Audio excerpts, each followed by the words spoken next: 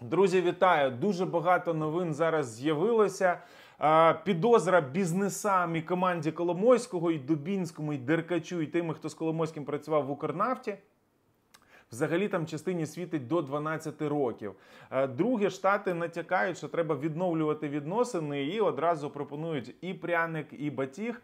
Е, В одній руці вони кажуть, що можемо ваше фінансування направити на Тайвань, або навпаки, Росія погрожує мобілізацією, а штати показують соціологію, скільки людей готові підтримати, щоб їхні війська приїхали нам допомагати боротися з росіянами. Ну аналогічна історія. Про відносини України і штатів, які дещо побилися після горщики, побилися мається на увазі відносини після Вільнюса, але зараз є шанс їх відновити. І кожна з країн дала по два сценарії: гарний та не дуже. Ну і ще власне Путін готується до візиту в Туреччину. Багато хто зміг говорить, що його можуть там арештувати. Чи можуть арештувати? Ну от якраз питання, яке б ми з вами проаналізували і поставили всі крапки над «і». Тому е, обов'язково підпишіться на канал, поставте лайк і дзвіночок і додивіться це відео до кінця, тому що буде дуже багато цікавого. Власне, президент України намагається повернути нормальні позитивні відносини, які дещо пошкодились після саміту в Вільнюсі. Ну от і кожна з сторін трошки образилась, можливо. Ну, емоції емоціями нам перемагати Росію, тому ніяких таких емоцій і образ не повинно бути. Тому Україна з однієї сторони, начебто, готова дружити з Сполученими Штатами і демонструє повну лояльність і боротьбу з корупцією. Про це зараз детально розкажу. А з іншої сторони показує і негативні сценарії. Ну, перше, підозра менеджменту Коломойського. Укрнафта по Укрнафті завершили слідство. Частині менеджерам Коломойського світить до 12 років. Укрнафта це була така дійна корова Коломойського, яку він отримав для того, щоб направляти поток в свою кишеню. Отримав це підприємство. На це насправді найбільше нафтове підприємство країни по великому рахунку монополіст. Ну от він отримав його як вдячність Юлії Тимошенко за допомогу в перемозі у виборах. Ну і добрий десяток, а то навіть більше.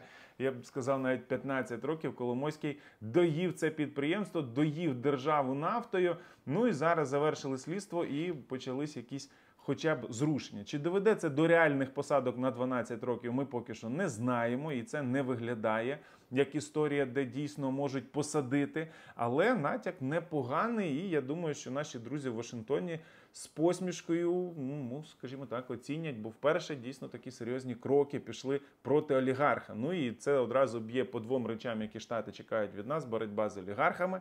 І друге це боротьба з корупцією. Тут одразу два. Два, дві, дві, дві цілі збиваємо одним пострілом.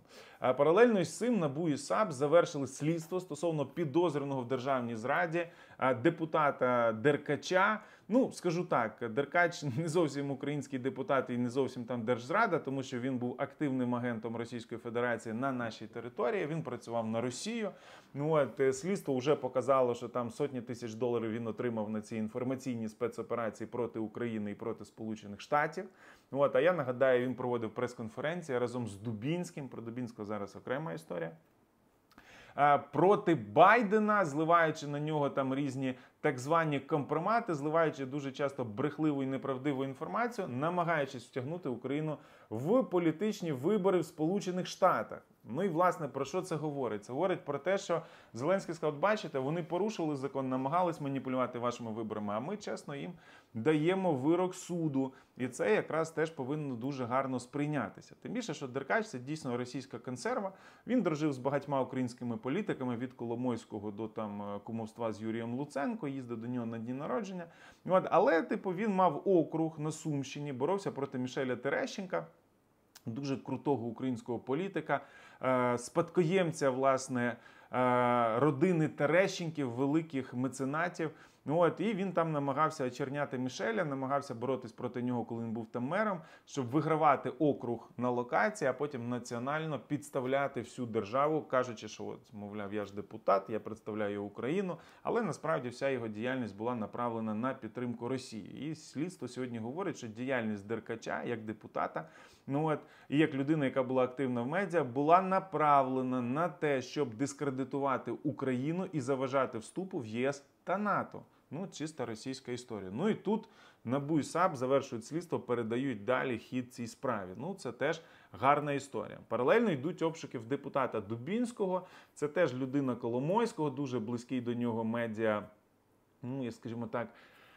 Е, медіакілер, тобто, якщо так правильно назвати його професію, людина, яка працювала на Коломойському на його каналі, потім е, вела велику кількість соціальних мереж, і в них, як говорять експерти, підігрувала якраз таки бізнесам Коломойського або його політичним впливом. Ну і дуже часто його пов'язують ще й з політичною корупцією. Київській області, куди назначались люди. Знову ж таки, хай це вже доводить слідство, ми подивимось, але така інформація курсує в кулуарах політичних в Україні. Дубінського звинувачують в тому, що він незаконно виїжджав за кордон, казав, що хоче вивозити свого батька. а Насправді виїжджав сам в сонячну Барселону, відпочивав в цій Барселоні. Ну а потім, е, власне, батько сам виїжджав і сам повертався. Дубінський, власне, за ним там не сильно дбав, але по документах оформляв, що, начебто, це все від батька. Ну і зараз органи йому пред'явили е, власне підозри. Е, але крім цього, це теж кейс разом із Коломойським та Деркачем, бо якраз таки Дубінський брав участь в прес-конференціях проти Байдена, проти сина Байдена. Ну і тут теж натяк е, самому Байдену, що дивіться, ми якраз таки чесно відповідаємо на порушення законів ну, цими панами. Дивно, звичайно, що. Цей гарний натяк роблять так пізно, коли відносини трошки зайшли ну не найкращу позицію. Але це позиція, з якої все можна вернути, відбудувати і буквально за день про все забути погане. Ну от е, можна б це було зробити раніше, але ну окей, краще пізно ніж ніколи. Проте дві історії. Е, третя учасниця цих прес-конференцій, пані Дума, е, говорить про те, що яку назначили на дуже відповідальну антикорупційну посаду. Вона буде розподіляти кошти, які будуть заарештовані, і російські репарації, і бізнеса там Медведчука і багатьох інших. Вона буде відповідати. Вона третя учасниця прес-конференції. Зараз відповідає за антикорупцію по великому рахунку в Україні, якраз таки за найбільш солодку частину розподіл активів. Ну а то третя учасниця займає державну посаду. Тому, скажімо, штати не до кінця бачать це ну як такий суперправильний крок. Друга історія, я говорив, що кожна сторін, Штати і Україна дають по два сценарії: позитивний і негативний. Ну а негативний Україна кілька днів тому. Ми з вами розбирали відео, що там з'явилось в пресі, що а якщо ліквідують Зеленського, який сценарій, хто буде замість нього. На що ввечері офіс президента так недвозначно поклав на стіл справу Злочевського. Ну от, ну і власне сказали, що він пішов на угоду слідством. А ви знаєте, щоб піти на угоду слідством, треба дати щось зверху, когось вище і більше. Ну і це був такий натяк, кого міг дати Злочевський. Ну зрозуміло, що натяк на Байдена, на певний компромат. Ну ну і це теж могло дуже не сподобатись штатам. Цей торг насправді нас не посилює. Можливо, там для окремо взятих хлопців, які це планують. Вони думають, що це сильна гра. Ні, ми просто б'ємо горшки з найбільшими друзями-партнерами, які направляють сюди нам сотні мільярдів доларів. Тому краще в такі ігри взагалі не грати, тому що це може дуже погано завершитись. Краще грати в позитивні сценарії, сприймати ці позитивні сценарії, а не намагатися грати у ці старі політичні ігри, коли там є плюс, є мінус, обирайте. Нам зараз точно не треба доводити, хто сильніший Сполученим Штатам, тому що однозначно вони старший партнер, і ми це приймаємо. Зараз хто сильніше, треба доводити Росії на полі бою. Ось це наша політика, де ми повинні ідеально відпрацювати. Ну але і штати теж дають дві пропозиції. Перша. Це те, що Байден сказав, що хоче звернутися до Конгресу, мовляв, через український бюджет давайте давати гроші на тайванську зброю. І в новині чітко підкреслено, що хоче і думають. Це подумати нам. Ви хочете? Ми можемо ваші гроші направити туди, якщо ви будете вести себе. Ну, от, е, як незрозумілі партнери, займатися корупцією, займатися якимись іншими речами. І навпаки, другий меседж. Вони відповідають Росії і дають натяк нам. Росія каже: ми хочемо нову хвилю мобілізації, під це міняємо закон, будемо набирати всіх і вся. Штати кажуть, а дивіться, у нас тут є соціологія, і в цій соціології кожен третій американець не проти того, щоб штати відправляли. Е, свої війська в Україну на допомогу захисту України і демократії в Україні. Ну і там ще 20%, е, точніше так, 30 підтримують, а 20% ще не проти. Ну і там 20 з хвостиком. Тобто більшість американців не проти відправки військ сюди. Ну а враховуючи, що штати вдвічі більше за Росію, і Росія, яка говорить, що у нас супер е, потенціал, то штати кажуть, ну дивіться, ми в два рази більше, ваш потенціал просто легко перекривається. І це теж Україні два сценарії нам пропонують обирайте. Можемо ваші гроші відправити на Тайвань, а можемо навпаки допомогти не тільки зброєю грошима, але й солдатами. Теж обирайте, яким партнером ви хочете бути. Бути як Південна Корея чи як Північна. Ну і я думаю, що тут наша. Наша відповідь повинна бути очевидною, що ми обираємо, що ми хочемо, куди ми йдемо, за що ми боремось, і хто наші друзі та партнери. Очевидно, що це не Росія, очевидно, що це не Азія, це якраз таки західний розвинутий світ. Тому треба брати їхні гроші, їхню техніку, їхню зброю і боротися проти диктатур, звільняючи свою країну від окупантів. Тому зараз ці політичні ігри треба потрошки завершувати і торги з поляками, і торги з американцями сварки. Ну треба виводити в нормальне, конструктивне, робоче русло, і в цьому руслі здобувати підтримку для того, щоб кувати українську перемогу. Ось це наше завдання. Вибачайте, можливо, трошки складно і заплутано. Я вам намагаюсь донести ці. Політичні історії, в які насправді не всі депутати чи міністри хочуть вникати, але дуже важливо, щоб ми з вами це знали, щоб ми з вами це розуміли, тому що це такі інсайдерські речі, які відбуваються. От, але вони дуже дуже важливі, тому що від цього буде залежати, які новини будуть завтра. Буде зброя, не буде зброї, якою буде лінія фронту, як далеко ми дійдемо. Ось це якраз ті речі, які надзвичайно важливі. Ну і ще одне: Путін готується до візиту в Туреччину. Про це заявила і сторона Путіна. Цей Пісков. Про це говорять і люди Ердогана. Не кажуть поки що точну дату, але точно кажуть, що це буде в Туреччині. Ну і Багато хто змі почав спекулювати, що мовляв Путіна там можуть заарештувати. Можуть, і Ердоган може в цю гру зіграти, тому що Путін, приїхавши на його територію, триматиме він Путіна точно в своїх руках. Ну от, але дуже великий сумнів. Ну от в них не прийнята якраз таки цей, цей римський статут, і тому йому такої надобності, як в Південній Африці, немає. І йому це ну не треба робити з точки зору там вимог зовнішнього світового законодавства. Але, типу, як політик, скажімо так, міг би зіграти таку гру, і тоді б війна дуже швидко завершилась. Хоча я не думаю, що Ердоган якраз таких політиків може виманювати, може шантажувати, торгуватися, видавлювати з Путіна останні гроші. Ну от це так, але типу я не думаю. Я не думаю, що зараз він буде це робити. Ну і теж е, дуже важлива історія, що будуть говорити про зерновий коридор.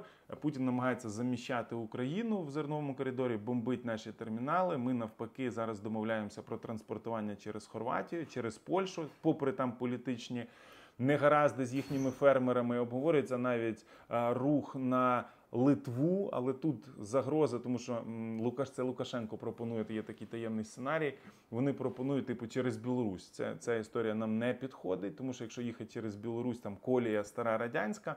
Ну але типу нам не підходить, тому що ми тоді легалізуємо Білорусь, типу як нейтральну країну. А Білорусь це ворог, який атакує і нас, і Литву, і Польщу. Ну, типу, точно ні. Там ще є ядерна зброя, вагнерівці. Ну точно не туди ми повинні направляти своє зерно. От. Але, типу, в будь-якому випадку нам треба зараз подумати і зрозуміти, як відправляти зерно. Весь світ його чекає від нас. Це наш геополітичний вплив. Це те, чому Україна сидить за столом переговорів з суперсильними і впливовими країнами на рівні може говорити, бо ми кормимо 600 мільйонів людей, які чекають нашого харча, які чекають українського зерна. Ну от ну і Ердоган теж сказав, що це найбідніші країни, і їх треба рятувати, тому що підняття ціни, як це хоче робити Путін чи політичний шантаж, вони просто фізично, як люди, не потягнуть. І це призведе до десятків мільйонів жертв. Ну от тому ну, Путін поїде в Туреччину. Я думаю, що. Ми це будемо перебивати е, відсутністю Путіна на зустрічі в Саудівській Аравії. Я про Саудівську Аравію теж писав окреме відео. Ви можете його подивитись трошки нижче. Ну от е, і там якраз не повинно бути Росія, а можливо навіть буде Китай. Ось там теж піднімемо питання зернового коридору. Друзі. По цій інформації у мене все буде додаткова інформація. Я вам теж скажу, але в будь-якому випадку Е, добре, що десь є позитивні сценарії, де СБУ хватає зараз за одне місце Дубинського. Ну от і це, до речі, вже не перший депутат, якого СБУ бере. Типу, перед цим були там і опозиційні, і провладні депутати. Ну от е, що плюс насправді, тому що депутати зараз не будуть відчувати себе, що вони десь там на Мальдівах можуть сидіти, доки ми тут всі помираємо. Ну от з іншої сторони, дуже хотілося, щоб ось ті справи, які НАБУ і САП розслідували, щоб вони там по Деркачу і по Укрнафті, щоб вони теж були доведені до логічних вироків суду і повернення державі державної власності, державного потоку мільярдного, а не щоб він осідав в кишенях олігархів. Ну і зрозуміло, щоб справи були не тільки команді Коломойського, але й дійшло до самого Коломойського, щоб дійшло вже до самих олігархів, бо поки що вони все рівно небожителі, і вони якраз поки що ні за що не відповідають. Як би захід нам не натякав, що олігархії, корупція і суди це три найбільші проблеми, що заважають вступати в ЄС та НАТО. Ну поки що не всі політики це чують, не всі політики це роблять, але треба їх дотискати, щоб наша країна була не гірша ніж Польща, Німеччина чи Франція насолоджувалася в Європейському Союзі та НАТО. По даній історії в мене все, друзі. У мене до вас одне просте дуже питання. Напишіть, будь ласка, власне, по відносинах з штатами. Нам треба загравати і демонструвати, типу, силу, браваду і давати два сценарії, типу. Погрожувати і шантажувати, чи навпаки, треба бути нормальним, адекватним партнером, працювати спільно проти ворога, нарощувати наші м'язи, бути таким собі Тайванем, Південною Кореєю чи Ізраїлем, чи Швецією, чи Фінляндією, да, супернадійні партнери штатів в нестабільних частинах світу, але які справді стали частиною західного світу. От, от який сценарій нам обрати, чи грати в цю політичну браваду, що можемо так, а можемо і не так. Да? От, напишіть, будь ласка, в коментарях, підпишіться на канал. У нас вже скоро з вами буде 150 тисяч. Ну от Дуже дякую вам за підтримку. Дякую за донати на попередні пости і на 118-ту бригаду, і для хлопців з Авдіївського напрямку. Я говорив, що там вже закрили. Ну от і за ваші донати на шелтери, на які збирає Українська Правда.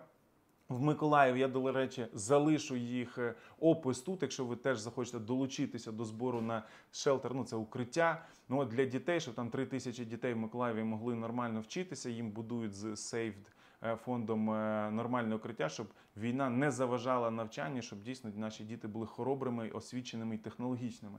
Тому я це залишу. Дякую за всі донати. Дякую, що додивились відео до кінця. Підпишіться на канал, поставте лайк, дзвіночок, напишіть відповідь на коментар. Бережіть себе, бережіть свої сім'ї. Ми точно переможемо і всіх олігархів і корупціонерів посадимо до в'язниці. Бережіть себе. До зустрічі.